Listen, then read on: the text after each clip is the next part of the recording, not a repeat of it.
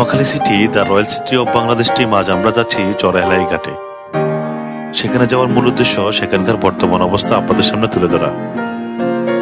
জানিয়ে রাখি, নোয়াখালী জেলার কোম্পানিগঞ্জ উপজেলার একটি স্বনামধন্য ইউনিয়ন হচ্ছে চরালাহি যার মোট আয়তন একশো বিরাশি দশমিক সাতানব্বই বর্গ কিলোমিটার।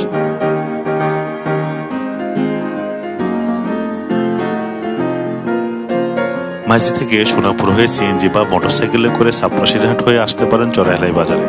চড়াইলাহি বাজার থেকে চড়াইলাহি ঘাটের দূরত্ব প্রায় দেড় কিলোমিটার।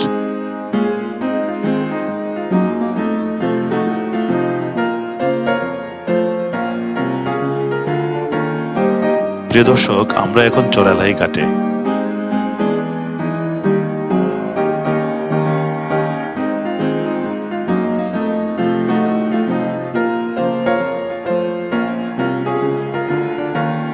নদীর ঢেউ আর চারিপাশে সুন্দর সবুজে ঘেরা গাছগাছালি, বিভিন্ন দোকানপাট আর মানুষের বিচরণে সারাক্ষণই জাঁকজমকপূর্ণ একটা এলাকা।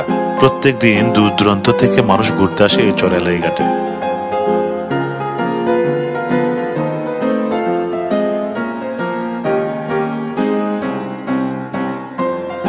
ঘাটের এই পাশে চরালাহি আর ওই পাশে চট্টগ্রাম জেলার সন্দ্বীপ উপজেলার উড়িচর ইউনিয়ন।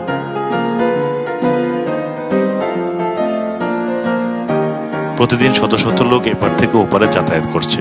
যাতায়াতের জন্য ট্রলার আর স্পিডবোট সহ সবই রয়েছে এই ঘাটে।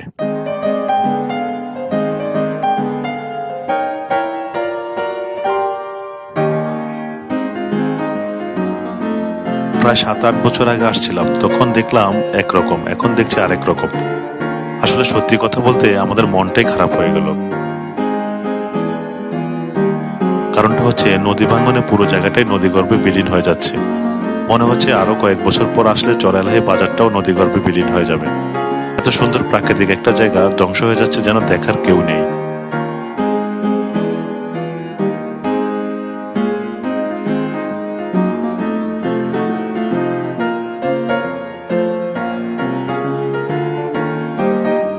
কর্তৃপক্ষের দৃষ্টি আকর্ষণ করছি। যদি ভিডিওটি দেখে থাকেন, তাহলে খুব শীঘ্রই একটা ব্যবস্থা গ্রহণ করবেন বলে আশা করি। ভিডিওটি সর্বোচ্চ শেয়ার করে সবাইকে দেখার সুযোগ করে দেবেন।